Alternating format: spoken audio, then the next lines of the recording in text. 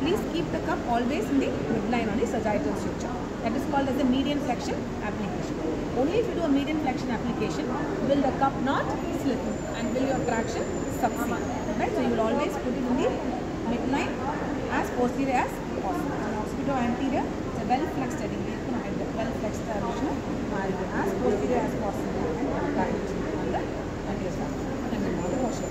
So once it is applied, I will raise the traction I will raise the pressure. Once I raise the pressure, maximum is 600 millimeters of mercury or 0.8 kilometers per, I mean kilograms per meter square, centimeter square. So this is what you will raise it to.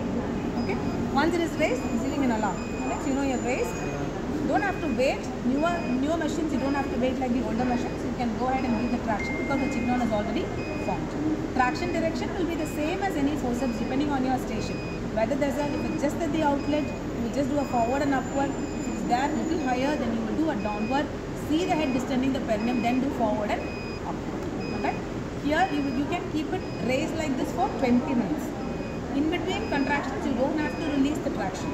Alright it can be raised. It can be continuously raised for up to maximum of 20 minutes or 3 pulls.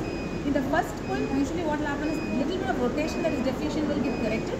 The second pull you will find a descent. And the third pull you will deliver so once you deliver the head, you can release the traction and once the traction is off, once the pressure is off, you can release the cup. Always in instrumental delivery, once the head is out, release the instruments and allow the head to restitute. Unless you know you have a deep bradycardia that you are instrumenting for, you can allow the head to restitute. Once head is restituted, then you can deliver the shoulders and the body by lateral flexion. Why am I telling that you should allow it to restitute is because in all these cases you anticipate shoulder dystocia, you anticipate postpartum hemorrhage. So you have instrumented and if you're not allowing the head to restitute, you suddenly pull on it, then the shoulder restitution and then what happens? The next movement is external rotation which means internal rotation of the shoulders.